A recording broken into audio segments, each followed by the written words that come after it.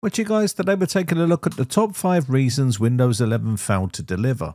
So we're going to be exploring the core issues that have prevented it from becoming the definitive operating system many anticipated. So are you still scratching your head wondering why Windows 11 never quite clicked?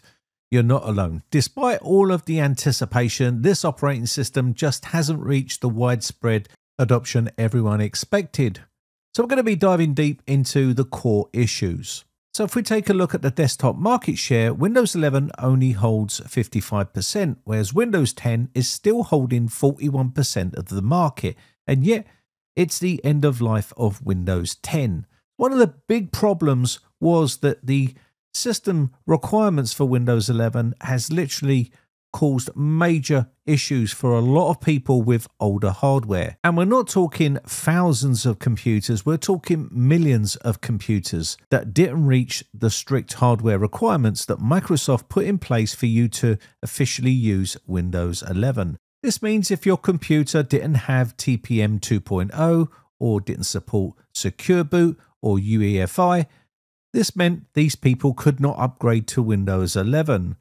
Also, you had other reasons like CPU compatibility. It had to be on the CPU compatible list, and this made a lot of older computers non compatible for Windows 11. And this really put millions of people that had older hardware unable to upgrade to Windows 11. And of course, with Windows 10 reaching end of life, it left a lot of people with some difficult decisions to make. Yes, you could extend for one more year, and yes, Linux was an option for people, but let's face it, not everyone wants to migrate over to Linux and use a completely different operating system when they've been so used to Windows for so many years. And this moves us on to Windows updates. Now, Windows 11 updates were plagued with glitches and also bugs and other major issues post launch whereas Windows 10 continued to offer stable operating system with a familiar experience, whereas Windows 11 was completely different. And Microsoft that continued to roll out updates for this particular operating system just seemed to make things worse. They were fixing problems and then breaking three or four other problems in the process. And this was an ongoing thing.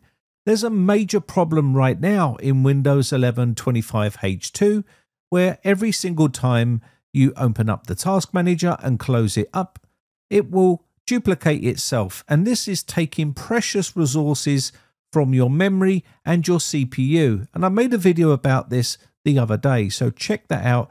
It's pretty bad. And what it is, is it means you have to come in here manually and end task for all of these uh, task managers that have been created by just opening and closing Task Manager.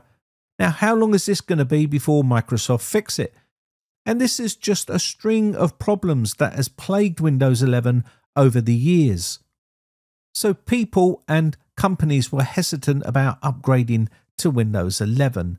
The next thing was the start menu. It's an absolute monstrosity. You've only got to look at it. Coming from Windows 10, people prefer the Windows 10 look. They completely changed the uh, start menu for Windows 11. And I've completely turned a lot of these features off to make it as reasonable as possible, but you can't resize it. You can't do anything with it. Now, they have rolled out an update finally for the start menu, but really it's not that great. It's just even bigger than what it was before. It takes up virtually the whole screen. So, this is what you get inside the start menu options. You can go more pins, default, or more recommendations. And there's a couple of rocker buttons in here to turn on and turn off. And this is why people turn to programs like Windhawk, Start 11 from Stardock, and they also use other applications like OpenShell, which used to be called Classic Shell. And some people will even use programs like StartAllBack, which will change the menu completely and this is because they don't want to be dealing with this particular start menu. The next big problem for Windows 11 was AI. Basically, Microsoft have gone down the AI route with Copilot and other uh, integrations into their operating system. And a lot of people just simply don't want it. I turned it off and uninstalled it, but they've put it absolutely everywhere. it's in Notepad, it's in Paint, it's on your desktop, it's in your browser, it's everywhere.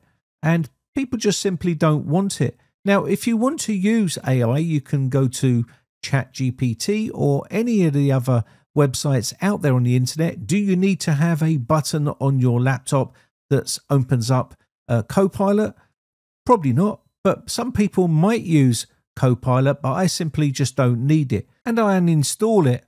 And I think that gets back to the point where Microsoft don't allow you to completely remove all of the Copilot from your system. It's embedded in Edge, it's embedded just about everywhere on the operating system. And some people might not want it and they want a choice to be able to remove it. So, yes, it might be a useful thing for some people, but for the majority of people, they simply don't want it and they would rather have a choice where they can opt out and remove it from the PC. Some people worried about the amount of data that's being harvested from it from your computer with the telemetry, and it's just a big turnoff for a lot of people. And this is why people stay with Windows 10. Moving on to the next big problem, which is the amount of bloat that comes with Windows 11. When you basically install Windows 11, there is a ton of apps that are already pre installed on the system, and people have to go through and remove all of this. And then there's tons of privacy concerning settings inside uh, Windows 11 where you have to go in and toggle a lot of this stuff off. And people just get tired of having to do this and they get reset every time there's a Windows update. There's widgets and gadgets installed on Windows 11, like this right here, that no one really wants. I turn this off straight away. But again, some people may use it. I particularly don't want to use it. If I want to read the news, I'll go and look at a news website on the internet. But there's adverts plastered everywhere in Windows 11. And in the search, when you search, it comes up with internet search inside your search. And I think there's a lot of things that people have to go through to turn a lot of this stuff off. There's a lot of telemetry and harvesting of your information, and you have to constantly go in here and toggle all of the buttons off. And pretty much most of the stuff inside here will be turned off. Most people don't leave all of it on. You can see advertisement ID, suggestions, recommendations. There's inking and typing, as you can see here. There's tons of stuff the which is harvesting uh, your information. Notifications, you have to go in here and turn all of this stuff off. I don't know anyone who uses any of this stuff in Windows 11, and it's just time consuming. This is why applications and scripts are available to run on your system to debloat and turn off a lot of settings because of the amount of time it takes. Next, you got your taskbar. This was a, another big problem. People wanted to put their taskbar on the side or up the top. And of course, because you've got all of the widgets and other stuff that Microsoft have introduced, you have to only have it in the center or to the left. That is it. Microsoft don't want you putting it on the side or up the top. Some people have been using it that way for many, many years. And of course, they are now forced to use it on the left or in the center. Some people even complain of the amount of clicks it takes to get to a location where it used to take one or two clicks, it probably takes five or six for certain items. Next up, we got the Microsoft account being forced on people during the setup phase. People want to have an option to be able to use an offline local account, but now Microsoft are insisting that during the out of box experience, you have to sign in with a Microsoft account. And of course, soon as you sign into a Microsoft account during the setup phase of Windows 11, you will be turning on BitLocker. You'll be signing into a uh, OneDrive account, which will obviously sync all of your data to OneDrive automatically. And they're saying that you can go into a local account once you get to the desktop. You just have to sign in to a Microsoft account during the Windows 11 setup phase. And most people don't want to do that. They want to set up a local account during the setup phase rather than being forced to sign into a Microsoft account. And this also goes on to the context menu, which is also another big problem because people just simply don't like the new context menu and the navigation system of Windows 11. Yes, the UI does look a little bit more fancy, but again, it's just so much inside here and it sometimes is pretty difficult to find things because of the amount of stuff in here which you never ever use. And people just want a stable operating system, and Windows 11 is not. That's the big problem. And the biggest problem of all was Windows Recall. It caused a major concern. This is a Copilot Plus laptop, and you can see recall and snapshots.